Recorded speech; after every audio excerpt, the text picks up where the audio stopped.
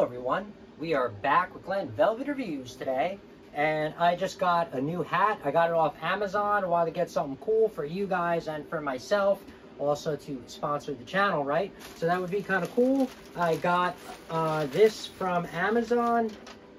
Uh, not sure, um, what's the name of it? It's called Ink Stitch is the name of it. This was 20 bucks uh, is what I paid for.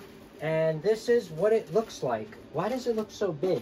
But anyway, this is how big it looks. All right, well, this is the hat that I got. It looks a little bit bigger than I thought, uh, as you guys can see, but this is the measurement that we got right here. I'm going to try it on, but uh, that's how big it is, and that's how tall they have it, all right?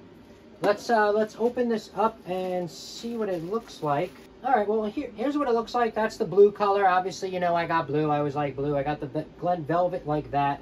Let's, uh, let's see what it looks like. It's very loose. Um, a lot looser than what I wanted it to be. Um, I don't even, I don't have a mirror, but I'm, it doesn't matter if I have a mirror, I guess, because this is just for you guys. Now, this is kind of what uh, you can expect it to look like, all right? Looks like from the side, looks like from the front. Here's the logo of how big it is. Uh, it's okay. I mean, you know, I don't know. I've had a lot nicer hats in the past. Um, this is okay. Uh, it was 19.99. Maybe that is really um, budget friendly, I guess, for the price and what you get.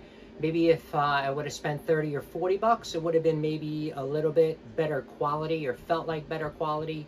This feels like, honestly, I'd be afraid to wash it. Um, I would wash this on gentle or I don't know what even what it says in the wash, but I definitely would not be washing this thing all crazy. Uh, that's the name of the company that they do use. Port and Company is what it's called. 100% acrylic, 100% polyester made in China. Wash in cold. Dry flat, cool iron. So uh, that's kind of what the inside looks like.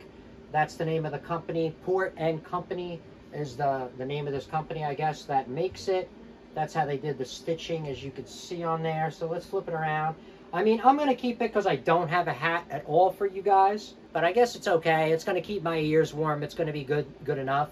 I'm looking to buy another one or two of these different brands. We're going to see how they look and we can compare them all together. I'm going to order that probably in another week. Uh, so, you know, give me a couple of weeks. You know, I, don't have never-ending funds, so I can't just order whatever I want, right?